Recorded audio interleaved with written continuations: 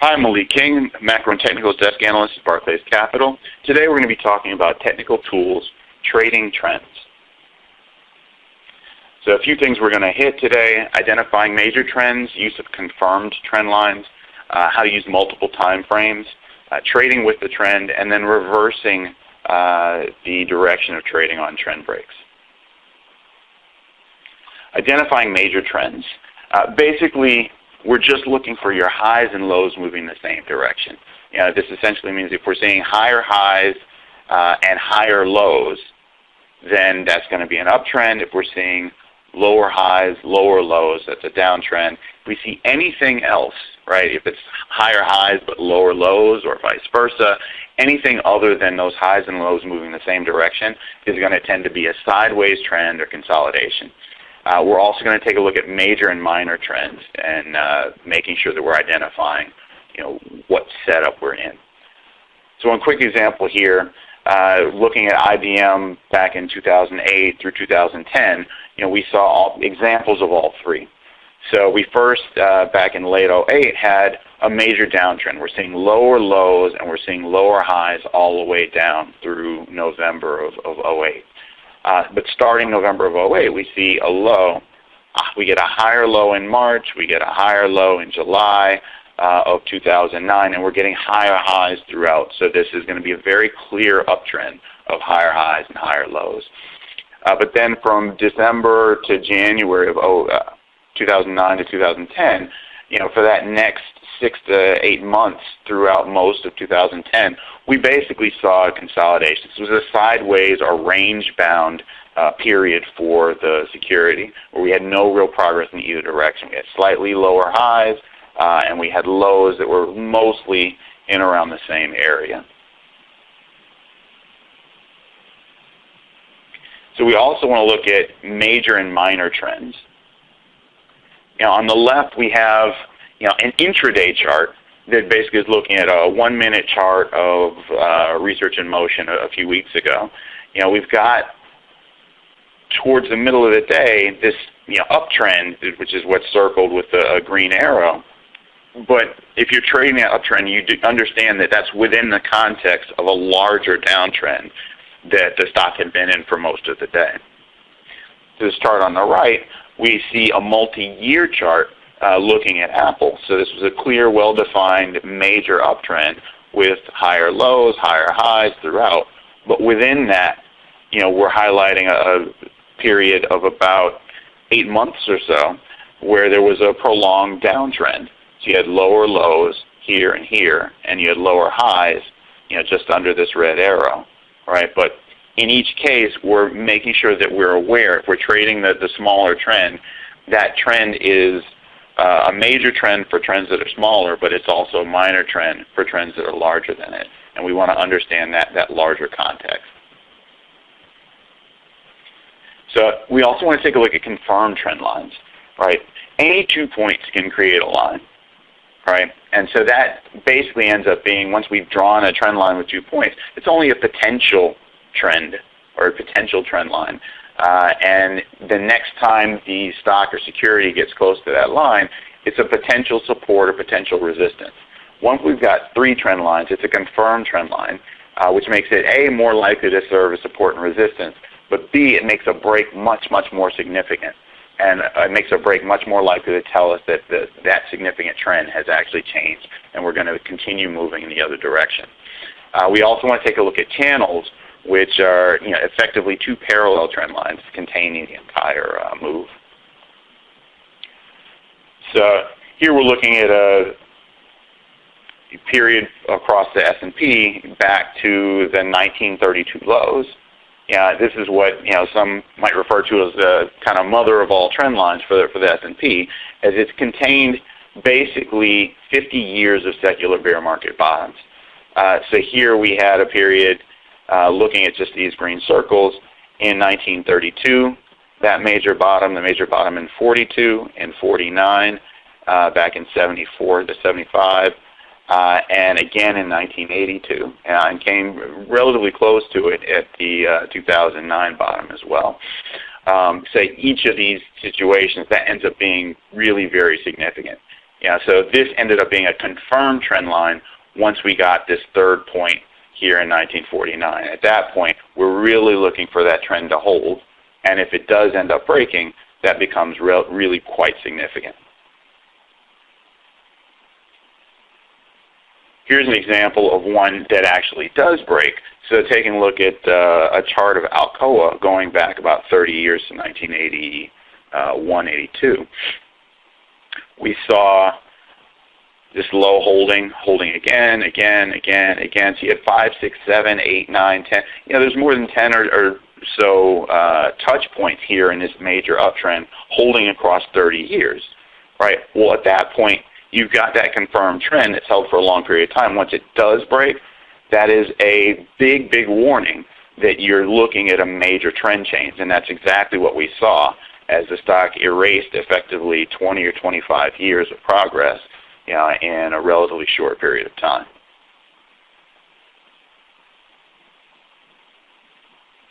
So here we have a, another significant piece where we're looking at confirmed trend lines. Uh, channels, right? So that same trend line that we saw on S&P has a, a similar, uh, call it parallel on uh, the Dow. So looking back, we had 1932 low, 42, 49, uh, and one up here in the 50s uh, as well.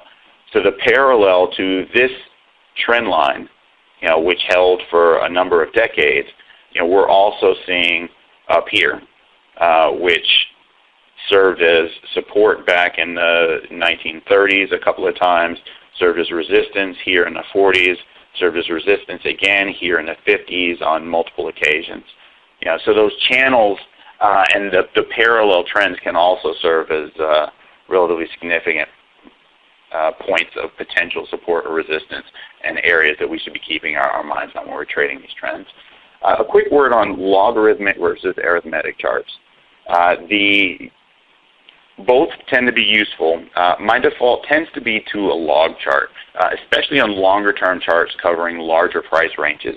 Uh, one of the reasons is, you know, at the end of the day, if a stock is supposed to be discounting future value, right? If the value of the company is growing at, let's say, 3% or 5% a, a year, right? That's geometric growth rates. If you grow 5% a year every year, you know, you're going to see, you know, what would effectively be this exponential move higher, right? And so if you want, you know, a straight trend line, you know, that's going to continue to contain these support points or resistance points, uh, a logarithmic chart does a better job of mirroring those uh, that geometric growth right? Whether it's slower growth or whether it's faster growth, it does a better job of catching those. So especially over long periods of time or, or larger uh, moves, the, the log charts tend to do a better job catching those.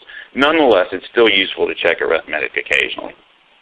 So here we just have a quick example looking at uh, that same 30-year trend line on Alcoa. You know, on a log chart, we've got 30 years of touch points, you know, going from 1982 or so uh, all the way up to 2000, all the way up to 2007, um, and serves very consistent throughout. Right, that same trend line, if we tried to draw it from the, the same low uh, on an arithmetic chart, you know, does still actually serve as support for about five or six years. At that point, it tends to be no longer useful. Why? Because the growth, that exponential growth in the company has you know, exceeded the uh, you know, basically a arithmetic trend line. Yeah, but we can still find some use over shorter periods of time for that five-year period here with the green line and white trend line here looking back in what was effectively the late 80s to, to early 90s. And we're seeing that serve actually into the future even as resistance uh, a couple of times uh, a decade or more later. Uh, so using multiple time frames, we want to get a sense of impulsive versus corrective trends.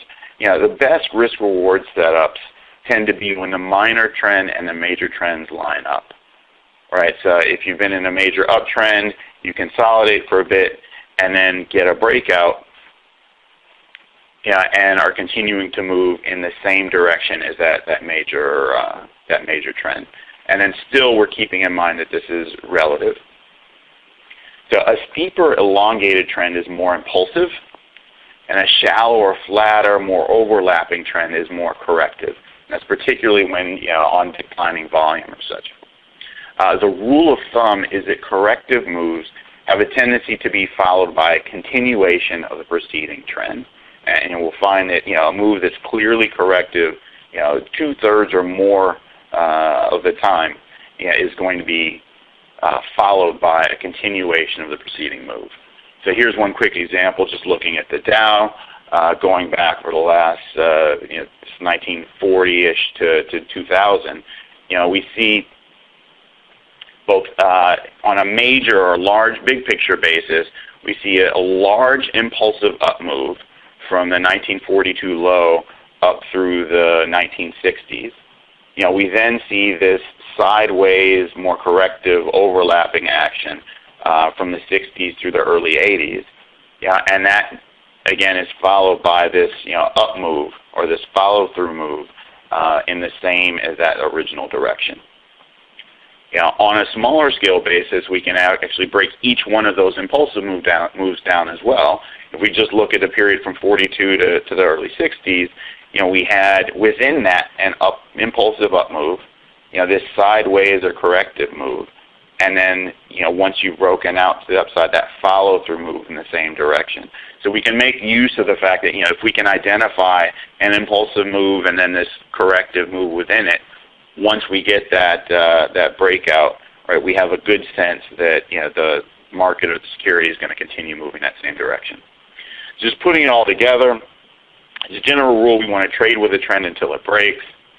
Uh, sometimes pays to wait for a move past the last support or resistance uh, prior to a trend break, and we'll look at a quick example of that in a minute. Uh, and you know, you can also reverse directions on a break, assuming we're, we're looking at uh, confirmed trends. Yeah, so this is just one, you know, it looks like Star Wars, I know. So it's a very busy slide, but just uh, look at a couple of pieces of it.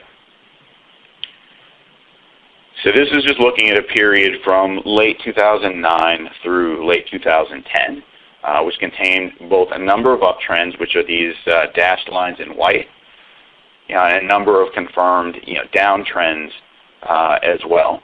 So if we were trading these breaks, if you're, let's say long, this is looking at the S&P, if you're long the S&P back in late 09, yeah, and by you know, December or early January of 2010, you've got this now confirmed as you've hit one, two, three touch points, you know, uptrend.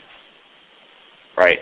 Right here in mid to late January, we get a break of that uptrend, and a, what happens to also be a simultaneously break of uh, preceding support point. You know, that, since it was a confirmed uptrend, tells us the trend has changed we now want to be trading on what's effectively the short side or would ex expect that the index is going to continue lower from there. So one, two, three, you now have a confirmed downtrend line from the highs uh, by early February.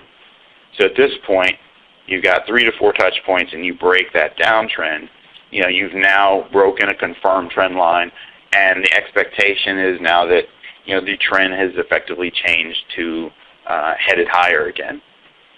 Right, continuing that same thing, one, two, three, four, confirmed uptrend, five, six. You get a break of that confirmed uptrend here. Yeah, and so that's the warning that you're changing direction again. Um, you don't actually break that prior support point until a couple of weeks later, but you were close to the high. So by early May, you're again breaking to the downside and breaking that prior support. And at this point, we're looking for a trend change again. So you're following that down uh, into the June lows. You're following up again through July. You're following down again into the July lows, up again. And so you can see how you might continue doing this and just making use of these confirmed trend lines to trade in both directions and they get a very good sense. You know, it's not 100% accurate, but nothing is, but to get a very good sense of which way the either major market or which way a particular security uh, is moving with just the use of these trend lines. So this concludes the segment on trading trends. Uh, for the Market Technicians Association, I'm Malik King, Macro and Technical Desk Analyst at Barclays Capital. Thank you for joining us today.